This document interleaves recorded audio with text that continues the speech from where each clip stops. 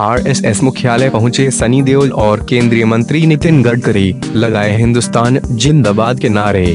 Bollywood actor और गुरदासपुर से BJP सांसद सनी देओल और केंद्रीय मंत्री नितिन गडकरी स्वतंत्रता दिवस से पहले महाराष्ट्र के नागपुर में राष्ट्रीय स्वयंसेवक संघ आर के मुख्यालय में पहुँचे। इस दौरान दोनों ने अखंड भारत दिवस के कार्यक्रम में हिस्सा लिया।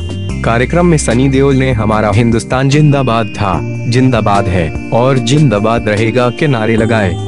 इसके साथ ही सनी देओल ने केंद्रीय मंत्री नितिन गडकरी की तारीफ़ भी की। सनी देओल ने भारत वासियों को देश की ताकत बताया। उन्होंने कहा कि हम सभी को मिलकर देश को आगे ले जाना है। कार्यक्रम में सनी ने भारत माता की जय के नारे भी लगाए। इस मौके पर कहा, हमारा देश बहुत महान है और हमें आगे लेकर बढ़ना है। हम सब भारत की ताकत है। सनी देओल ने कहा, हमें देश के लिए जान की कुर्बानी देने स्वतंत्रता सेनानी महात्मा गांधी, भगत सिंह चंद्रशेखर आज़ाद सुभाष चंद्र बोस लोकमान्य तिलक जैसे महान व्यक्तियों को याद रखना चाहिए।